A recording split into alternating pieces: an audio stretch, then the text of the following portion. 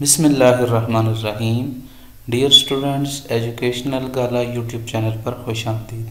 आज हम manual research project B Ed of course code 8613 के क्वेश्चन को डिस्कस करने जा रहे हैं। और वो क्वेश्चन है what kind of instrument was use to collect the data how was the instrument developed अब यहाँ पर आपने अपने टूल के हवाले से डिटेल इन्फॉर्मेशन देनी है कि आपने जो टूल बनाया है डेटा कलेक्शन के लिए, उसको आपने कैसे डेवलप किया है? किसी से बना बनाया आपको मिला या अगर आपने ख़ुद बनाया तो कैसे बनाया, कैसे आपने इस डेटा के कलेक्शन टूल की वैलिडिटी रिलायबिलिटी इसको मैं अभी आगे चल के आप लोगों के सामने डिस्कस करूँगा। मुख्तसर ही कर सकूँगा, लेकिन ये आपको थोड़ा सा एक केस के हवाले से हिंट देना ज़रूरी है। तो डिस्कस करते हैं इस क्वेश्चन को कि इस क्वेश्चन से मुराद क्या है।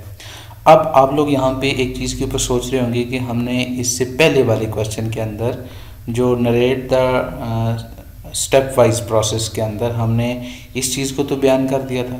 अच्छा वहाँ पर आपने ये बताया था कि आपने डेटा जो कलेक्ट किया है, वो इस इस टूल से कलेक्ट किया। मसलन आपने ऑब्जर्वेशन के ज़रिए, आपने चेकलिस्ट के ज़रिए, आपने क्वेश्चन एयर के ज़रिए, या आपने कोई और टूल डेवलप किया जस्ट उसका नाम, वहाँ पे आपने नाम लिखा, या इंतहाई माइनर डिटेल्स आपने वहाँ पे प्रेजेंट किए। अब वो आपसे, आपके टूल के हवाले से मज़ीद तफसीलात चाहता है कि आप उस टूल के हवाले से ज़्यादा जो है वो इंफॉर्मेशन शेयर करें। तो अब आपने यहाँ पे डिटेल जो है वो आपने डेटा कलेक्शन टूल के हवाले से यहाँ पे नोट डाउन करनी है। सबसे पहले तो आपने ये बताना है कि आपने कौन सा टूल यूज़ किया है। मैं यहाँ पे एग्ज़ाम्पल के तौर पे जिसको डिस्कस करने जा रहा हूँ, वो है इंटरव्यू फ़र्ज़ करें आपने बच्चों से इंटरव्यू लिया। तो इंटरव्यू हमारा आ गया जी डेटा कलेक्शन टूल अब आगे चल के बात ये आती है कि इंटरव्यू आपने कैसे लिया? अब कैसे से मुराद ये होता है इंटरव्यू के लिए आपको पहले कोई प्लानिंग करनी पड़ेगी ना। आपने इंटरव्यू में कुछ क्वेश्चन ऐड किए होंगे, वो क्वेश्चन कौन से थे? अच्छा फिर उसके बाद आपने जो क्वेश्चंस थे उनको नोट डाउन किया, या जस्ट अपने दिमाग में रखे, जिसको हम स्ट्रक्चर्ड एंड अनस्ट्रक्चर्ड कहते हैं। स्ट्रक्चर्ड क्वेश्चन या स्ट्रक्चर्ड टूल वो होता है, जिसको पहले से बना के अपने पास रखें और जब आप अपने रिस्पोंडेंट से के सामने बैठें तो उसी चीज़ को सामने रखते हुए आप उससे क्वेश्चनिंग आंसर करें। तो आपने इंटरव्यू के क्वेश्चन लिखे हुए थे तो आपने बच्चों से वो क्वेश्चन किए। या आपने वो वाले इंटरव्यू के क्वेश्चन बच्चों को लिख के दे दिए, बच्चों से कहा, जी, इसका मुझे जो जो आपके माइंड में इसका पॉसिबल आंसर है, वो मुझे लिख के दें।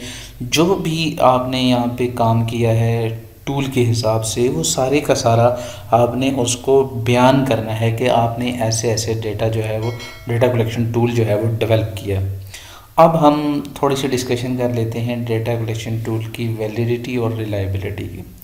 देखें जी सबसे पहले तो वैलिडिटी क्या है? वैलिडिटी से मुराद ये है कि देख के पता चल जाता है उसका कि ये वाला टूल जो प्रॉब्लम है उससे रिलेट कर रहा है या नहीं कर रहा।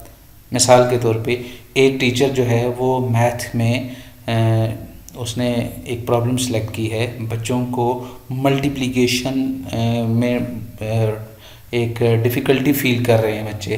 और वो कौन से नंबर्स हैं, फ़र्ज़ करें, वो जब बच्चे मोर देन फाइव नंबर्स को मल्टीप्लाई करते हैं तो वहाँ पे वो डिफ़िकल्टी फील करते हैं।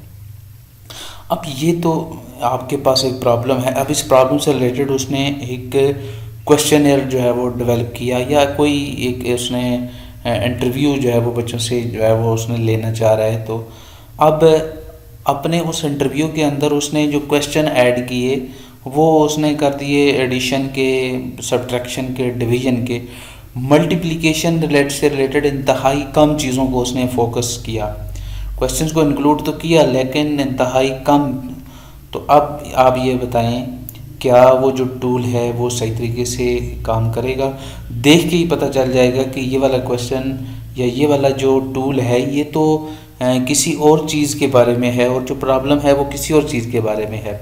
ये तो जस्ट एक वैलिडिटी की मैं आपको फेस वैलिडिटी आपके सामने रखी है, बाकी इसकी और टाइप्स हैं, वो आप पढ़ लीजिएगा।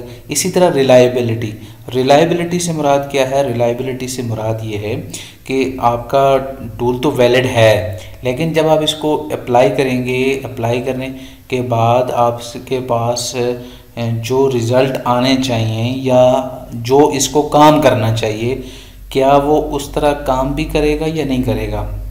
ठीक है? ये भी एक क्वेश्चन है। इसके लिए हम एक टेक्निक यूज़ करते हैं जिसको पायलटिंग कहते हैं कि हम रिलायबिलिटी को इंश्योर करने के लिए ज़रा पायलटिंग कर लेते हैं। तो जो ही पायलटिंग करते हैं तो हमारे सामने वो सारी की सारी प्रॉब्लम्स आ जाती हैं।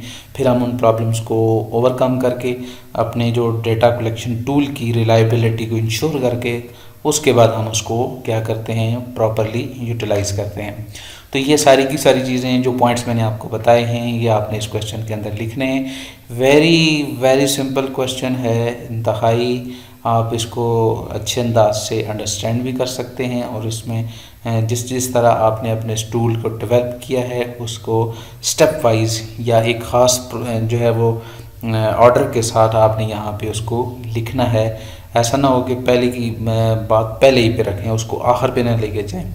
एक ख़ास अंदाज, जिस जिस अंदाज से टूल डेवलप हुआ है, उसी सीक्वेंस को आपने मद्देनज़र रखना है और आखिर तक जाना है जहाँ पे आपका टूल ने रिलायबिलिटी को इंश्योर किया और आप ये बाकायदा इसको आप इम्प्लीमेंटेशन के लिए लेकर जा रहे हैं या आपने इसको इम्प्लीमेंट कर दिया। तो ये था आपके पास question, what kind of instrument was used to collect the data? How was the instrument developed? उम्मीद करते हैं ये वाली वीडियो आप लोगों के लिए हेल्पफुल साबित होगी। वीडियो अच्छी लगी तो लाइक कीजिएगा।